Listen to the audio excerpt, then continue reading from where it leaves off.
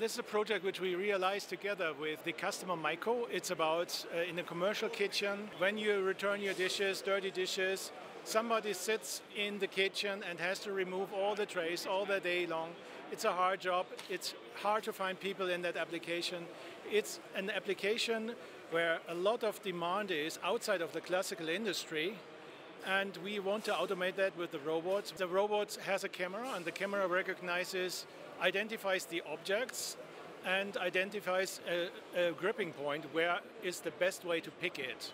Uh, what we try to do in the combination is to find an automation solution which would basically give the robots cognitive skills and competences basically to do the work that's currently done by people and it's become inherently more difficult to find people to do this job. Uh, AI is involved from Visier because uh, we need them uh, for the different uh, dishes um, and with AI we can handle different dishes from uh, different customer with one uh, AI model.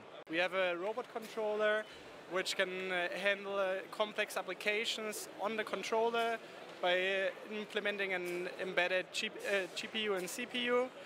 And also we have an absolute accurate uh, robot which closes the simulation to reality gap. We are here on the robotics uh, exhibition.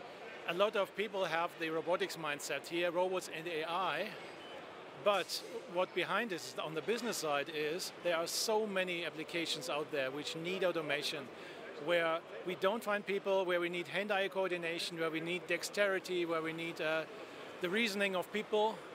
And um, the world is really yearning to let robots automate things.